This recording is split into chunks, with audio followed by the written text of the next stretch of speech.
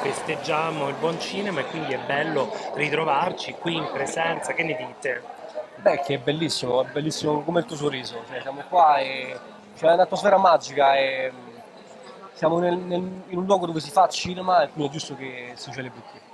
Senti, che ne pensate un po' di quello che sta succedendo? Perché c'è un po' un calo del pubblico, però comunque c'è molto interesse, il cinema magari viene fruito in un altro modo, gli appassionati comunque in sala continuano ad andarci, voi come la vedete?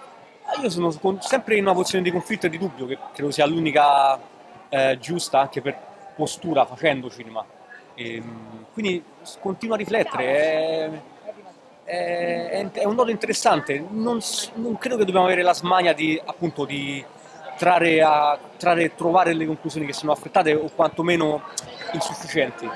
Credo che lo capiremo nel corso degli anni e in questo momento banalmente da regista e scrittore continua a scrivere e a dirigere. Il resto va affrontato con serietà e la serietà la dà il tempo e ci spendi sopra. Va bene, allora in bocca al lupo, il vostro... è bello vedervi così abbracciati, è un sodalizio forte eh sì. che continua all'insegna del cinema. È necessario, sì. Ragazzi, siete Davide di Donatello, quindi una serata importante, un riconoscimento da parte della critica. Che, che sensazione avete? Che, qual è il vostro pensiero questa sera?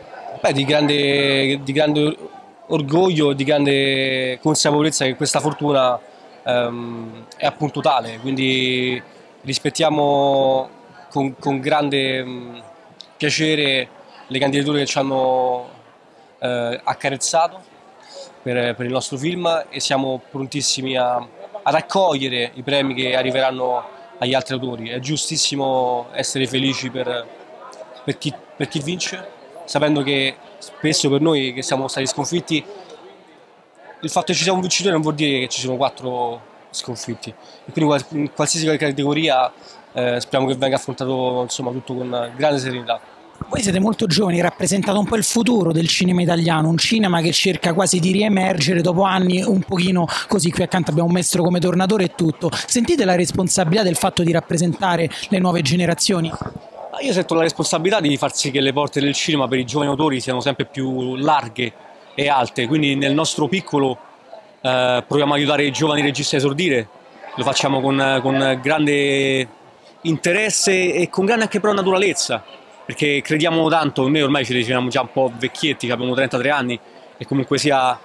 Ma però temo che, che l'asticella del, dell'età, anzi mi auspico che l'asticella dell'età si abbassi, continui ad abbassarsi perché se a 18 anni si può guidare una macchina penso si possa guidare anche la baracca cinema e raccontare storie in maniera libera, che è ciò che secondo me contraddistingue un bel film piuttosto che un film meno riuscito.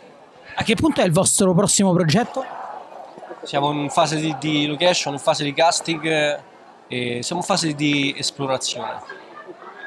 Grazie ragazzi.